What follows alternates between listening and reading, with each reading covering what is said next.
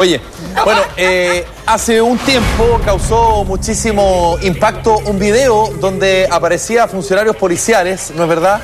Eh, bueno, fiscalizando y no solo eso, sino que además dando vuelta un carrito de mote con huesillo a una vendedora ambulante. Ahora ha generado otro impacto también, otro video que anda circulando por internet, donde de alguna manera algunos dicen, oye, es violencia como exagerada e innecesaria por parte de la policía. Todo esto el mismo día en que el presidente Sebastián Piñera, tal cual como lo está mostrando la Julia ahí, anunció el envío de un proyecto de ley al Congreso Nacional que aumenta las sanciones para las personas que maltraten de obra a carabineros, no solo en lo que significa eh, desde el punto de vista de, por ejemplo, eh, golpearlo en una protesta, sino que además los insultos. ¿No es verdad? El insulto hacia eh, la policía. Ojo, que esto podría ser sancionado entre las tres unidades tributarias mensuales y hasta Ah, ya. podría llegar a cumplir pena de cárcel. ¿De qué se trata esto? Vamos a la nota que muestra el video y a la vuelta comentamos.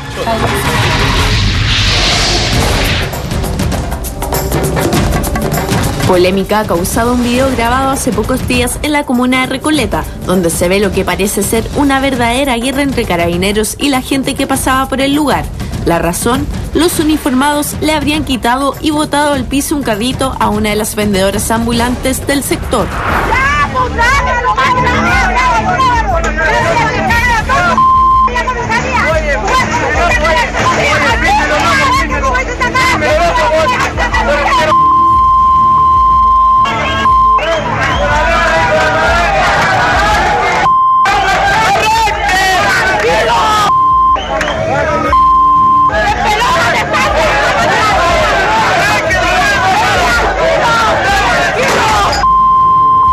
No es primera vez que nos encontramos con situaciones como estas. Así lo vivió un anciano que también por vender en las calles terminó con su negocio en el suelo. Porque yo no le he faltado respeto. Independiente, usted me está faltando respeto. ¿Ya? ¿Y por qué se vienen a robar las No, no me vengo a robar. Yo tomo un procedimiento policial, nada más. pero se están robando las cosas, po. se la están robando, po. se la están robando, se la están robando. Las manifestaciones estudiantiles han marcado un antes y un después en los tratos entre carabineros y ciudadanos. Otro polémico video que anda dando vueltas por la red es la de un uniformado que no encontró nada mejor que pegarle un combo en la cara a uno de los jóvenes que se manifestaban en Linares.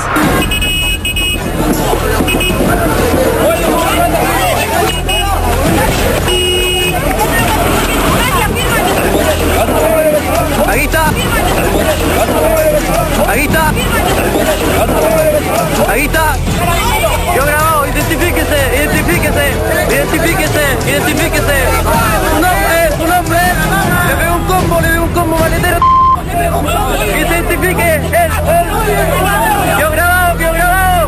También está el caso de un joven estudiante de teatro que fue acorralado y golpeado por uno de los carabineros, quien para su infortunio fue sorprendido por un periodista que se encontraba en el lugar.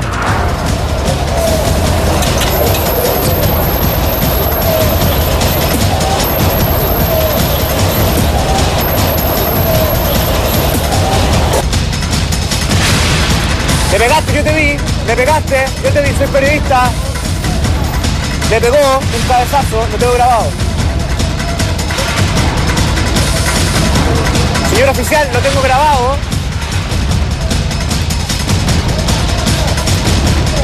Sin embargo, al otro lado de la moneda, los hechos también han perjudicado a los uniformados, quien muchas veces han sido duramente golpeados, como es el caso de estos dos funcionarios.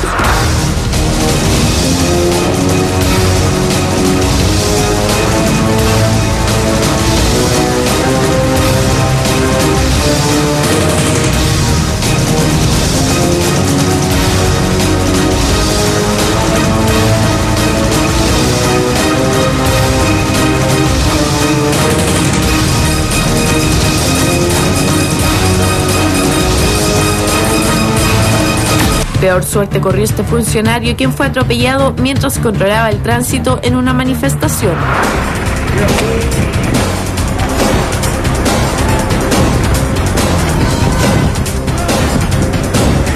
Yo lo filmé, yo lo filmé. Fuera, fuera, fuera. Yo lo filmé.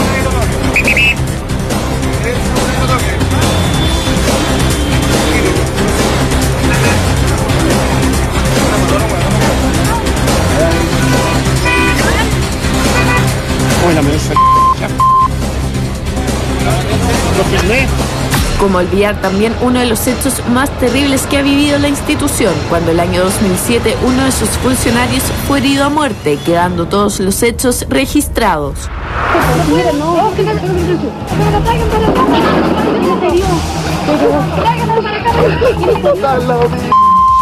¿Quién es serio? ¿Quién es serio? Yo le para mí ahora en la cabeza. ¿A quién? ¡Cálmate! ¡Cálmate! ¡Cálmate! ¿Cómo viste el video? ¡Cálmate! Me dispararon el día. En la cabeza. ¿Dónde está el. Sale de aquí. Sale. Vámonos, cacharros.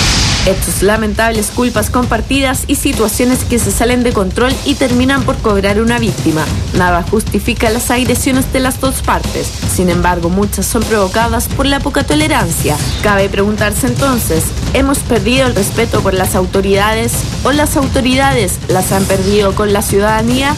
Juzgue usted.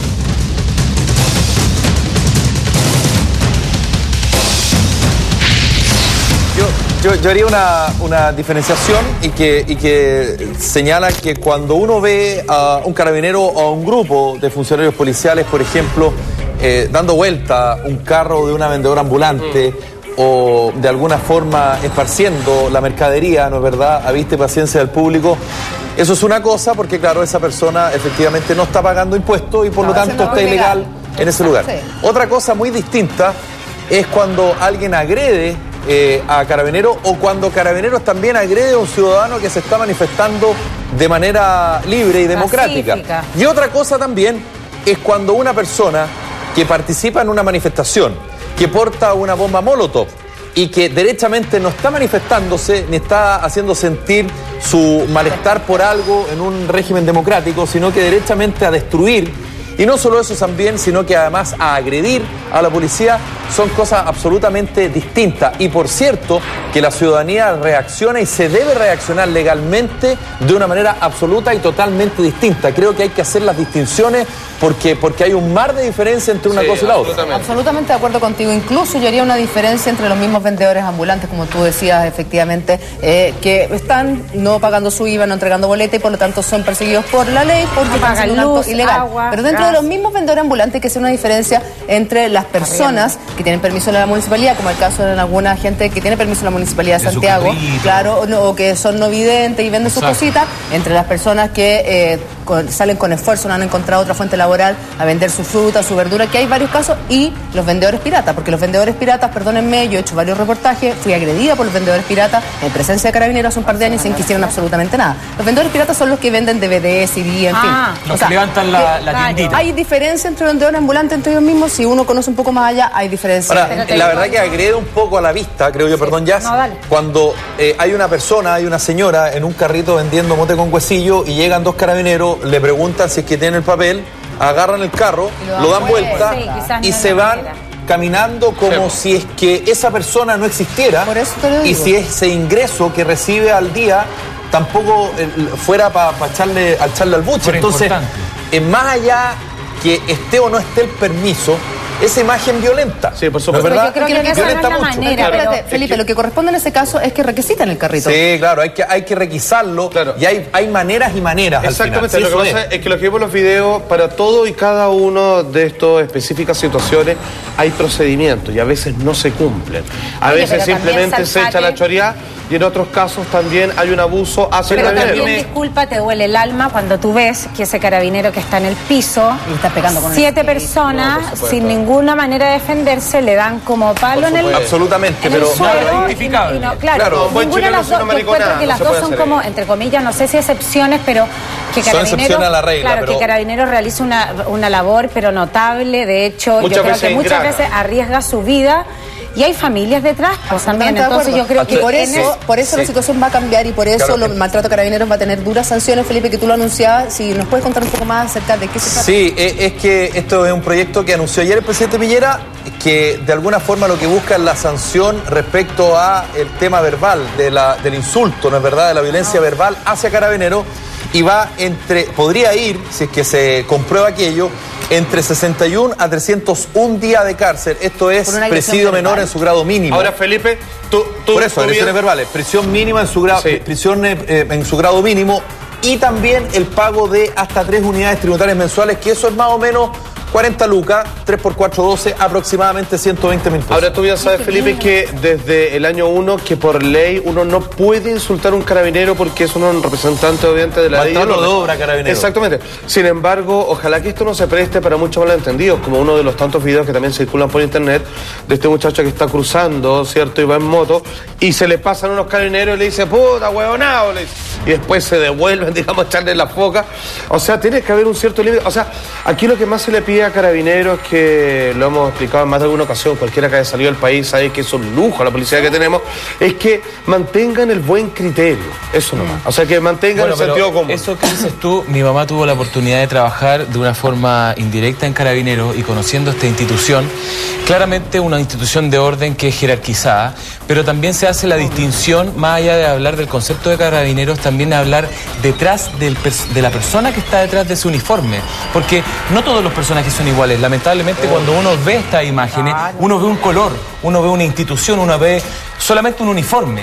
Lamentablemente cuando se hacen las separaciones, uno no puede decir, porque hay muchos carabineros que también a lo mejor en este momento están viendo esto y dicen qué situación más ingrata para nosotros muchas veces. Que que no- ponen su vida, exactamente, que nos vemos, Que de hecho le que nos vemos enfrentados no a este tipo de situaciones, que muchas veces la justicia frente a nosotros tampoco es justa. Pero también está la contraparte, que la gente que pide, ¿qué pasa con los carabineros? Que en definitiva son personas aisladas también dentro de esta institución. ¿sabéis qué? Eh, Pero Qué perdona. No se lo te esta- interrumpe, no No. Pero, ¿qué pasa con estas personas aisladas en carabineros que también hacen todo lo contrario? Que abusan, que golpean de forma indebida, que le dan un desprestigio a la institución, porque en definitiva la institución está armada, está constituida, pero hay buenos y malos elementos. Es que sabéis que Juan José yo creo que tiene un punto clave, porque cuando se condena a un civil que hace acciones contra carabineros, se acusa a la persona, pero cuando se acusa a un carabinero se acusa a la institución.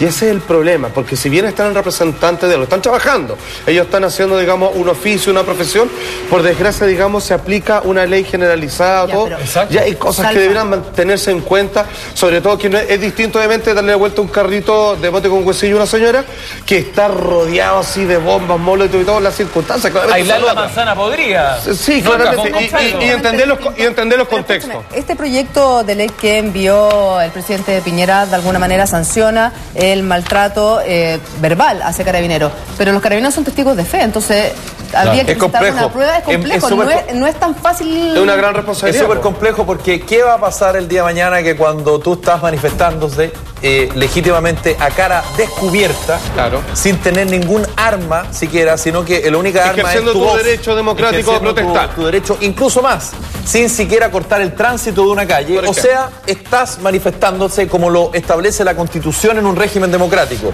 Y un carabinero te intenta detener o te intenta golpear. Y yo le digo al carabinero legítimamente un chilenismo. ¿Qué va a pasar conmigo?